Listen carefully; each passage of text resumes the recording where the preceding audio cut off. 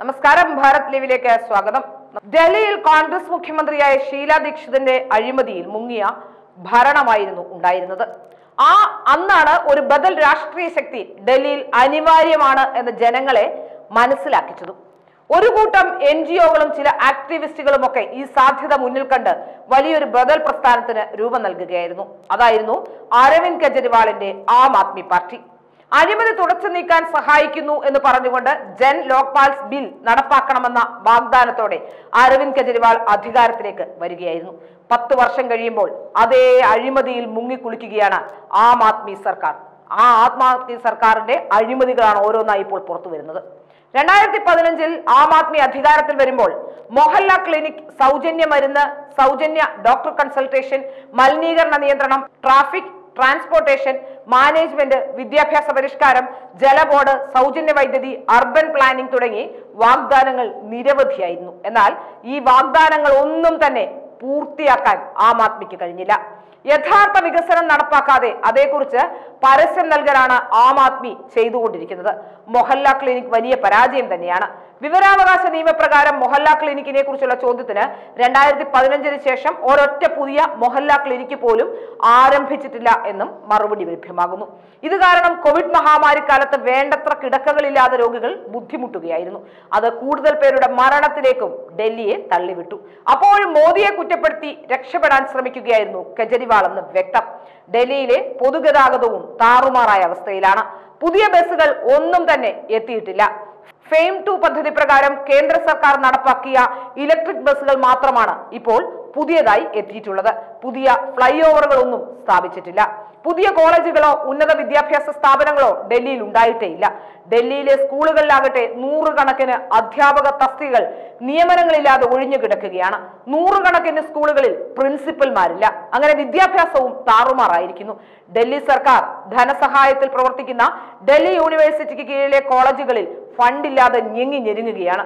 Pension കൊടുക്കുക തന്നെ ബുദ്ധിമുട്ടായതിനാൽ വിരമിച്ചവരുടെ pension പല മാസങ്ങൾ മുടങ്ങുന്നത് ഇപ്പോൾ പതിവായിരിക്കുന്നു.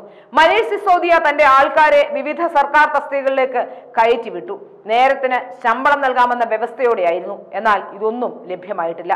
വരവിനെ കുറിച്ച് നോക്കാതെ പല സൗജന്യങ്ങളും ഭരണം പിടിക്കാൻ വാരി വിതറിയത് സർക്കാരിനെ പ്രതിസന്ധിയിലാക്കി കടത്തിലേക്ക് തള്ളിവിട്ടു.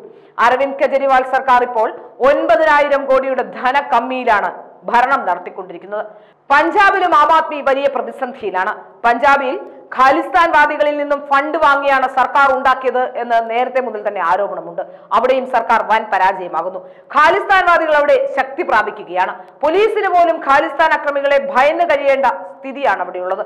ക്രമസമാധാനം ആകെ തകരാറിലായിരിക്കുന്നു. ഡൽഹി മര്യാദയ്ക്ക് ഭരിക്കുന്നതിന് മുമ്പ് മറ്റ് സംസ്ഥാനങ്ങളിൽ മൊത്തം ഭരണം പിടിക്കാനും ഫണ്ട് സ്വരൂപിക്കാനുമാണ് മദ്യനയത്തിൽ വൻ അഴിമതി നടത്തിയതെന്ന് വ്യക്തമാവുകയാണ്.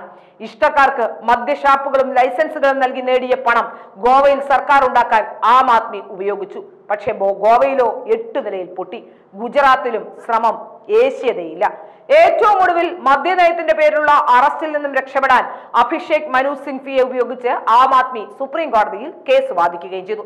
പക്ഷേ ചീഫ് ജസ്റ്റിസ് ചന്ദ്രചൂഡ് പറഞ്ഞത് ഈ കേസിൽ സുപ്രീം കോടതിക്ക് ഇടപെടാൻ സാധിക്കില്ല എന്ന് തന്നെയാണ്. അത്രയ്ക്ക് ശക്തമായ തെളിവുകളാണ് സി ബി ഐ മദ്യനയ അഴിമതിയെ സംബന്ധിച്ച് കോടതിയിൽ നിരത്തിയത്. ആരൊക്കെയാണ് ഈ അഴിമതിക്ക് പിന്നിലെന്ന് ഇനിയും വ്യക്തമാകേണ്ടതുണ്ട്. ഈ രേഖകൾ മനീഷ് സിസോദിയും കൂട്ടരും നശിപ്പിച്ചിരിക്കുകയുമാണ്. ഇതിൽ തെലങ്കാന മുഖ്യമന്ത്രി ചന്ദ്രശേഖര റാവുവിന്റെ മകളും പങ്കാളിയാണെന്നും സൂചനകളുണ്ട്. ഏതായാലും മറ്റ് ഗത്യന്തരമില്ലാതെ അരവിന്ദ് കെജ്രിവാളിന്റെ മനസാക്ഷി സൂക്ഷിപ്പുകാരായ മനീഷ് സിസോദിയും സത്യേന്ദ്രയും ഇപ്പോൾ മന്ത്രിസ്ഥാനങ്ങൾ രാജിവെച്ചിരിക്കുന്നു. അരവിന്ദ് കെജ്രിവാളിന്റെ മുന്നിൽ രക്ഷാമാർഗങ്ങൾ ഒന്നും തന്നെ ഇല്ല എന്നാണ് മനസ്സിലാക്കാൻ സാധിക്കുന്നത്. ആം ആദ്മി സമ്പൂർണ പരാജയത്തിലേക്ക് പോകുന്നു.